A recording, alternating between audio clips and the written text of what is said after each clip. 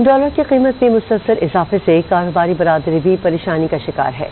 Karachi chamber of commerce के सदर मोहम्मद इदरीस का कहना है कि पैदावारी लागत और महँगाई बढ़ रही है।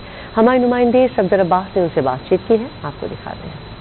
आज बिल्कुल डॉलर की कीमत में एक बार फिर इजाफे का तसलसल देखा जा रहा है। इंटर ओपन मार्केट दोनों में ही डॉलर की कीमत एक बार फिर बुलंद सतह पर देखी जा रही। है इस हवाले से chamber of commerce and industries के सदर मोहम्मद इदरीस का क्या कहना है उनसे जानते हैं। असल वालेकुम। क्या कहेंगे डॉलर फिर बढ़ने लगा एक बार? आप देख रहे हैं जो सैलाब की चीज़ हम सही करते हैं हुकूमत से गुजारिश करते हैं कि इसको सही कर लें तो फिर वो पॉलिटिकल पार्टियों की आपस में जो नाचाकी है उसकी वजह से डॉलर में तेज़ी आ जाती है।